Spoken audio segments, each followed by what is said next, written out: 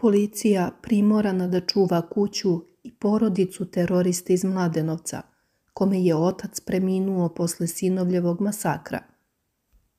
Selo Dubona i malo Orašje kod Mladenovca i Smedereva u četvrtak uveče su zavijeni u crno nakon masakra koji je počinio pomahnitali Uroš Blažić, kada je iz automata ubio njih osam tinejdžera.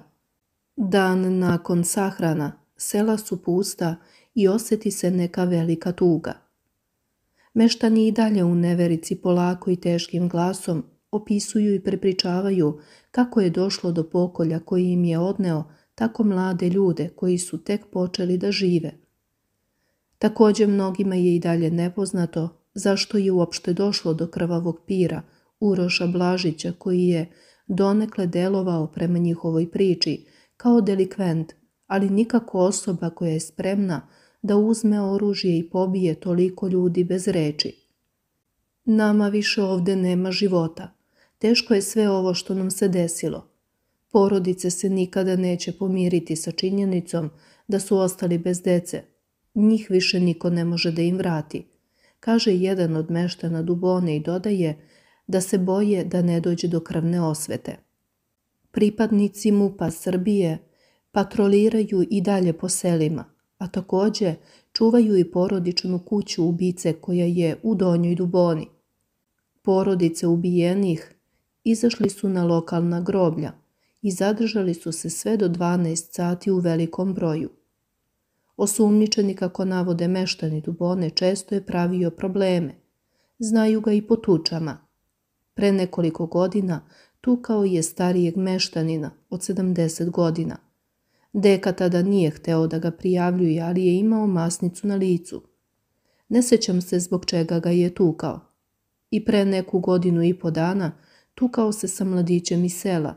Kažu oni i dodaju da je Uroš znao da divlja motorom po selu i da plaši ljude da će da ih pregazi.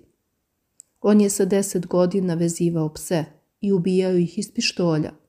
Tada su svi to znali, ali niko nije reagovao. Nije to dečija igra. Videlo se da nije normalan, kaže meštanin Dubone. Troje mladih koji su ubijeni u selu Dubona, kako kažu žitelji, nisu često dolazili u školsko dvorište u kom su nastradali.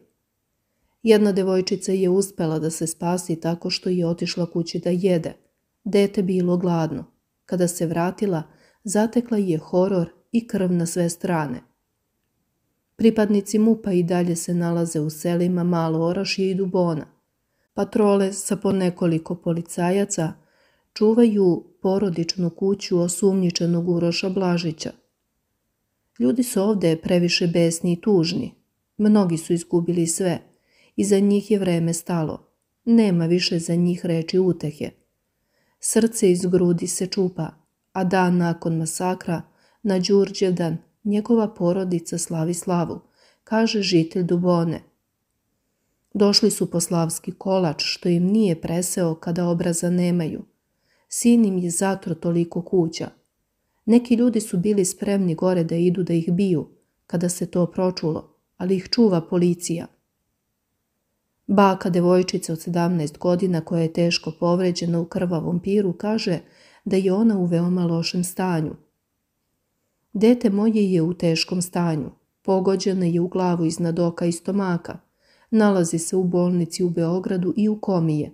Molim se da preživi, kaže baka i dodaje da je njen dečko na S od zadobijenih povreda preminuo. Došla je sa drugaricom u Dubonu iz gdje živi kako bi se družile. Bila je kod škole gdje je monstrum počinio zločin, ali on pre toga otišao do spomenika gdje joj je dečko na S bio sa društvom.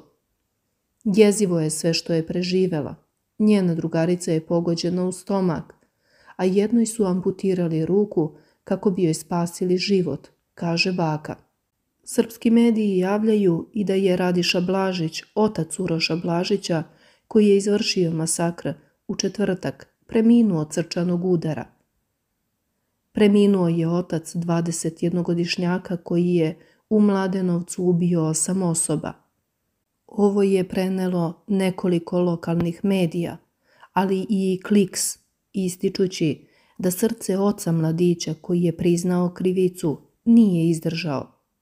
Prijatelj Uroša Blažića otkrio je detalje iz odrastanja mladića koji je ubio osam, a ranio 14 osoba.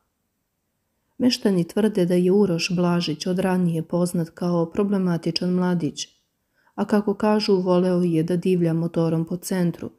Neki sumnjaju da je imao i problema sa narkoticima. Uroš Blažić iz Dubone izvršio je stravičan masakr kada je pobio osmoro mladih i ranio 14 ljudi u selima Dubona, Malo Orašje i Šepšin. Jedan od poznanika otkrio je i stravične detalje u kojima ukazuje na njegovo bahato ponašanje. Znamo ga iz srednje škole, uvek je bio problematičan, ali ne samo da je bio problematičan, već i bahat. Radio je šta god je hteo, a tata je rešavao njegove probleme. Kada su pozivali njegovu majku da dođe u školu, odgovarao bi nastavnicima. Ma kakva kjeva, doći će vam momi čale da vam objasni sve, navodi poznanik.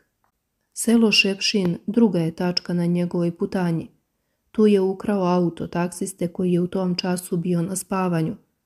Kako je objasnio u razgovoru, njegov sin je čuo verglanje automobila. Kada je istračao napolje, nigde nije video svetla, zbog čega je pomislio da je kraljevac vozio bez njih. Tim autom Uroš se vozio do spomenika palim borcima u malom Požarevcu gdje je ostavio auto, a kod spomenika je pronađen i novčanik vlasnika auta, bačen na polju.